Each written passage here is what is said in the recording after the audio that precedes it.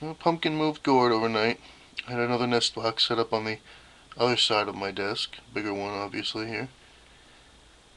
Mama cats will move their babies. I suppose, uh, in an evolutionary sense, it, uh, animals that move their babies and keep them uh, in different places probably are less subject to predation, especially from the original area where the birth happens. You have a lot of organic material that probably very easy for some predators to uh, to sense. So getting out of there is a pretty good strategy. Also, there's a little bit of a uh, a little bit of blood in the old nest box, probably a discharge from her.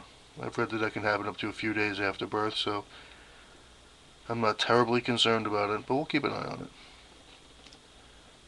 Little Gourd is much more vocal today than he was yesterday when I picked him up this morning. He was talking up a storm. So I think he's going to be a lively one. He seems very healthy and he's really strong. It's amazing how strong he is. I'm trying to call. Oh no! What happened? oh gourd.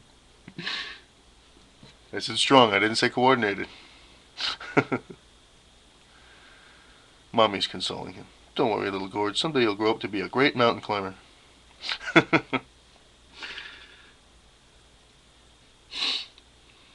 Okay, that's our kitten update for the morning.